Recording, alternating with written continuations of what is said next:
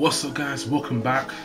I'm back with you for another basketball update. So, in today's basketball updates, well, this is a rumor, the news, the latest news, what's been happening. Uh, for a lot of people that don't know, there's been a rumor going on for maybe about a week or so that Klay Thompson wants to be traded to another team.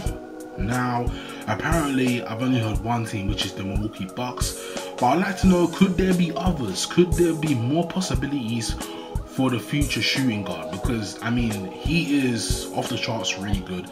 And um, for him to leave the Warriors is going to be a big loss they're taking. And um, what Klay is, is apparently upset about, he's upset about the sacrifices he has to make. He's upset about the whole. Um, he has to step back, how he's losing points, he's losing his averages, all this type of stuff has been brought up, and I think, I think it's possible that he could be traded. Now, ah, it's hard to think that Klay Thompson could be traded from the Golden State Warriors, but does he have other options? I think he does. Now, the Warriors need to think about this carefully. They're losing their shooting guard, their best shooting guard on the team. Now, obviously, Steph Curry, yes, he can shoot threes consistently, well, as we saw in the playoffs, it's obvious that the game time really did affect him. It really did affect him. Now, Klay, if you saw in the finals or the Western Conference Finals last year, Klay kept them in it. Klay put the team on his back and just went with it, shooting threes, attacking the paint, all types of stuff. He was playing defense and everything. Now Klay, he's a pretty, I'd say Klay, he doesn't have to rely on his jump shot. He does rely on it, but he doesn't have to. He can always go to the paint. With Steph, he relies on his three pointers a lot. You know, his jump shot a lot. That's his main arsenal. You know, I feel like Klay, he has a lot more to give the team rather than Steph. Now, I'm not saying Steph isn't a, a good player. He's a great player, of course. But losing Klay, the dynasty, the Splash Brothers, I mean, that's just gonna. What's gonna happen?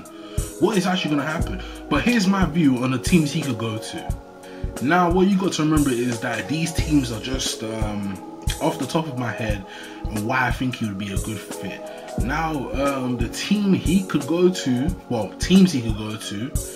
Uh, number one, the Milwaukee Bucks. Now, the Milwaukee Bucks just lost um, OJ Mayo to the, obviously the drug ban. He could go there, yes, and um, he wouldn't be on such a bad team. I mean, the Bucks haven't really been known to be up there for the playoffs and everything, but yeah, you know, the Bucks haven't really been good since the semis. Uh, let's just be honest, since Big O, since um, Oscar Robertson days. it's just that simple. But they had had some good players coming in and out. I'm not gonna lie to you. So if Klay does go there, he would help the team by bringing better chances.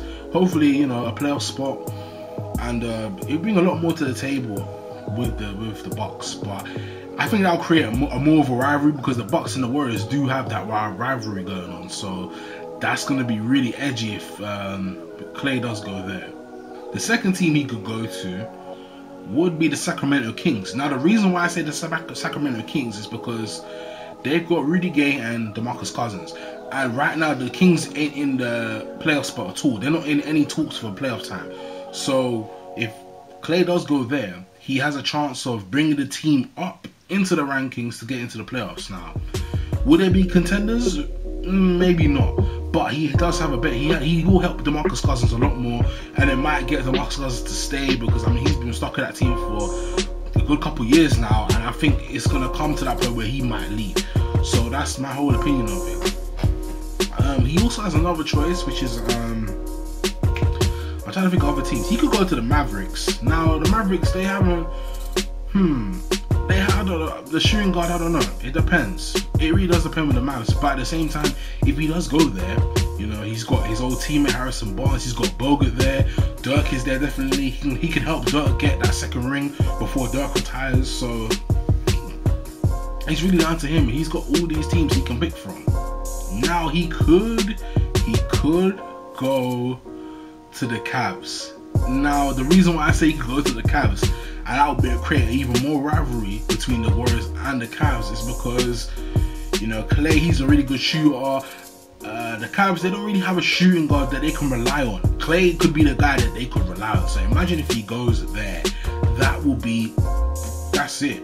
That would be like, it's just be like, what? Really? You're gonna go there? It's so, it's gonna be even more of a rivalry. So I think him going there will just bring out the best qualities for the for the um, Cavs, and especially LeBron James is there, Kyrie's there.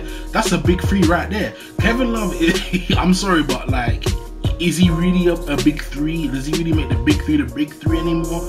Nah, it's just the big two now because he doesn't.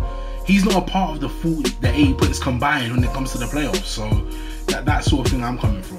That's sort of thing I'm coming from, and hopefully, uh, maybe Klay will go there. You you never know. Another team I could say he he could go to is uh, maybe the Spurs because you know how the Spurs are. They distribute minutes well. You know if you want to be the star, they'll let you be the star. And he's got Kawhi Leonard. He's got defensive players. He's got offensive players. So it doesn't matter who's on his team. He will he will get minutes. He will score. He will pick and pass the ball to whoever he likes and get everything going. And um, you know Klay is what I noticed about Klay. He's pretty versatile. So he can adjust and adapt quicker than maybe Steph could on another team.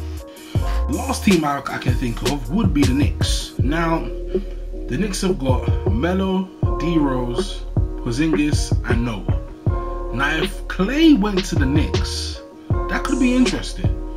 Could they make the playoffs? Would it be a lot more interesting? Now, that's the thing. I mean, Melo, he is a really good player, but he won't have to worry about his point averages going up or going down, really. It will pretty much be neutral.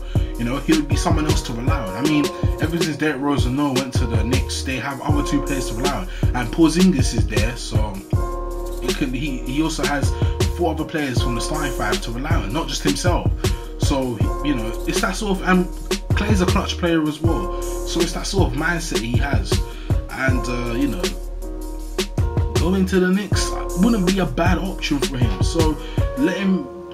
It could work. It could work. It could work. Okay, I, am just going off the top of my head. If there have been any teams that I haven't said, or it could be a possibility, just let me know in the comment section down below. Of course. And uh, last thing to note is the Splash Brothers. Man, will it really be no more?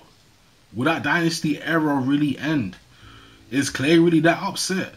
boy, we're gonna have to find out in the next couple of weeks because no one really knows for sure. And I don't think trades will start be will be happening just before. Uh, yeah, trades don't happen before um, just before All Star game. Well, let's say a month before the All Star game. So hopefully Klay can get his um, if Klay can get his minutes and his and his averages up. You know, I'm, I'm cool. Of course, he's going to be happy. He's going to stay with the Warriors, but if not, he's going to go.